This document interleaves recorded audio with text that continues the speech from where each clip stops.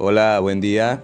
Eh, saludos y bendiciones a todos los seguidores de este su canal Gotas de Misericordia. Quien habla para ustedes, Alexi Contreras, eh, certificado de productor nacional independiente 16699 y técnico superior universitario en producción de medios en comunicación social, venezolano radicado en la ciudad de Buenos Aires, Argentina. Hoy estaremos eh, retomando el tema del caso del padre Carlos Yepes, ya que se estarán preguntando qué ha pasado acerca de su suspensión como sacerdote. Antes de aclarar este interrogante, hagamos un resumen de su situación. Y es que la arquidiócesis de Medellín en días pasados confirmó que hay un proceso judicial en la Santa Sede contra este querido y reconocido religioso, basándose en testimonios de tres personas. Esta situación surge por unas declaraciones del señor Hernán David Morales, de 36 años, en la cual denuncia al padre Carlos Yepes, asegurando de cuando era monaguillo eh, en una iglesia de Medellín fue abusado por él. Posterior a esta noticia, el arzobispo Ricardo Tobón ordenó la apertura de una investigación. A este caso se suman dos más. El primero de ellos el de un hombre de 26 años que hoy vive en Chile y quien asegura habría sido abusado en la parroquia Corazón de Jesús. Este ya interpuso una denuncia penal en contra del padre Carlos Yepes. El tercer caso habría ocurrido en la parroquia San Esteban Protomártir, también de Medellín.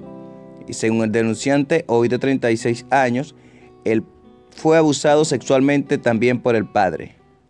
Llama poderosamente la atención que estas denuncias surjan después de tanto tiempo.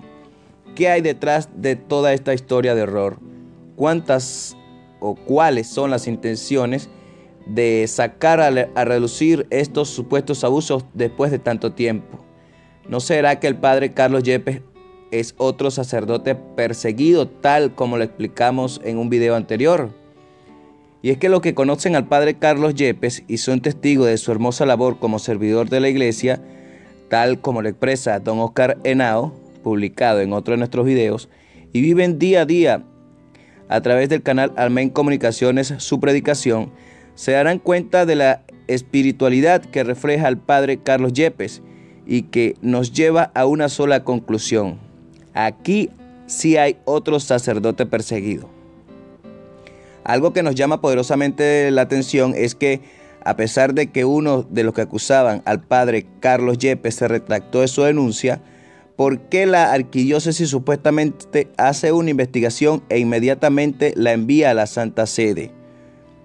¿Por qué el arzobispo Ricardo Tobón da la noticia de suspensión de su labor pastoral por los medios de comunicación sin antes notificar al padre Yepes? Saque usted sus propias conclusiones.